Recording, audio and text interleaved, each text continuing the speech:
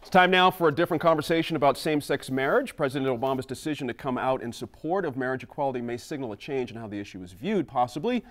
Still, more than half the states in the union have some sort of prohibition against same-sex marriage on the books. We want to know what's ahead for New Mexico. Sophie, let me ask you this first question. New Mexico hasn't passed a defensive or definition of marriage act. Similarly, there's no recognition of domestic partnerships on the books. What are our political chances, even given the polling that we've got showing that more New Mexicans are supporting that, this idea? Casting out to 2013, what do you we're think? We're a bit of a blank slate in the sense that that both defensive marriage and domestic partnership bills have come up. Dom defensive marriage, I think we talk about more often right. um, because they're I don't know, a little bit more newsy or something like that. But mm -hmm. in the past, those bills have come up and they have not gotten very far. I think the answer to your question really depends on what happens with this legislative election uh -huh. and what the groups think they can bring forward. Now, a DOMA bill comes forward every every cycle, no matter what, no matter whether they think the Republicans think they can get it through or not, mm -hmm. and it it dies each time. That's right.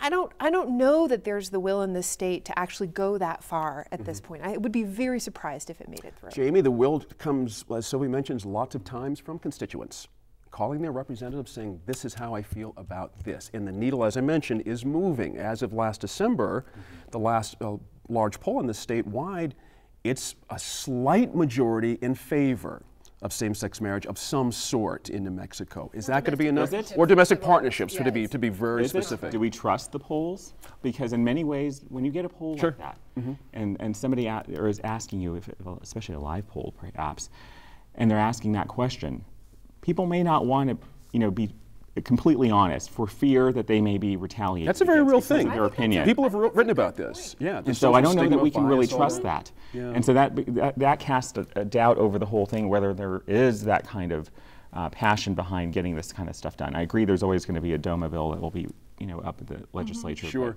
And, and that there's been some movement in the House, but never really does anything in the Senate. Do you anticipate much change for these things? We'll see how the election goes. I mean, yeah. people said this about repealing the death penalty for years in New Mexico. Ah. They'll never do that, never do that. We repeal the death penalty.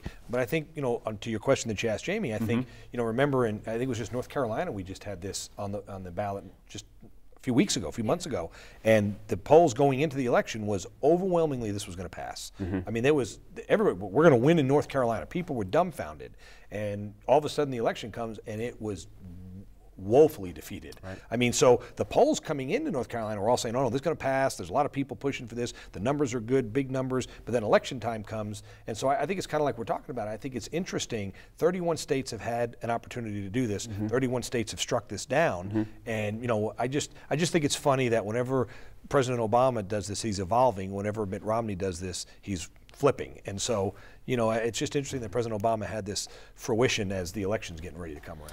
Constitution, you know, we have to have this whole process before it gets a constitutional thing so the voters can weigh in on it. I mean, it's a huge deal when you think about a change like this.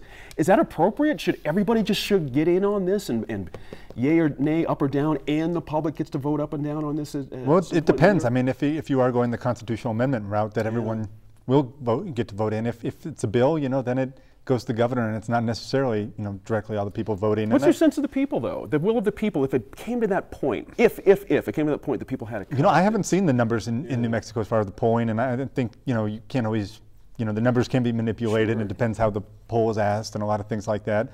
I do think short term, you know, the governor opposes a domestic partnerships um, bill or same-sex marriage and the Democratic legislature. So I, I do think short term it be hard to get anything through the legislature. Tough sure. to pass this in New Mexico, I would think, with the voters. I think the Catholic Church has such a stronghold in communities in New Mexico, and this is one of the few issues. I think even even I've seen in my lifetime even more than abortion that you can get a Catholic priest going, get them preaching from the pulpit, get them to move their congregations mm -hmm. to make a difference. And I mm -hmm. think mm-hmm. that I think that if this thing did come out, I think you'd see a strong push from the Catholic Church, and I don't think you can discount that in New Mexico. Mm -hmm. Sophie, would you agree with that? It makes sense to I, me. I mean, yeah. I'm hearing what Dan's saying. I think one of the things that has has I realize that marriage is sort of the purview of the state. Mm-hmm. It's something that the states have regulated. It's it's you know a decision of the state, and then we have you know, full faith and credit, and other states recognize other states' marriage laws. Mm -hmm. um, but I feel with civil rights issues, and this is what I think we're looking at here,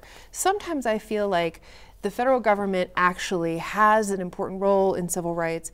I'm sure that my con rights professor right now is clutching his head as I'm saying this, but but but I it, it sort of makes me a little crazy to see marriage as an amendment to the Constitution, right. where it seems to me what we're really mm-hmm. looking at as recognition of fundamental rights and marriage being one of those rights, as was as was um, established by this, the Supreme Court when we talked about interracial marriage, mm-hmm. is a fundamental right, mm-hmm. um, certainly between a man and a woman, regardless of their ethnicity.